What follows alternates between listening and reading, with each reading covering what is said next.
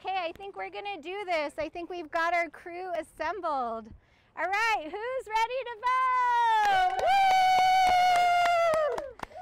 I'm Melanie Stansbury, and I'm running to be your next Congresswoman because I love New Mexico. I believe in our people, and I believe that we can create meaningful change by mobilizing our communities, by bringing electoral change, and by doing the work to invest in our communities, to address hunger and homelessness, to ensure that the well-being and education of our communities is addressed, to fight drought and climate change, and to invest in our kids.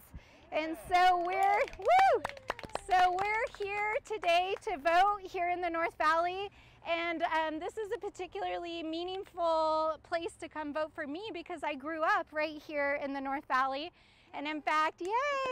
Um, we used to live over on Mission Avenue, which is just a few blocks from here. And my earliest memory of voting is actually voting with my mom, who's here with me today and going inside the cafeteria at Mission Elementary and pulling the curtain around and pulling the levers, watching my mom pull the levers to vote.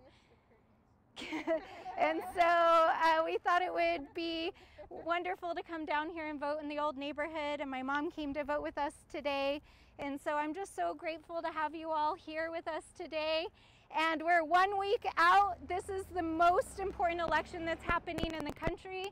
It's critical that everyone shows up to vote and this is the last week of early voting till Saturday. So let's go do this, let's go vote and let's get out the vote. Woo!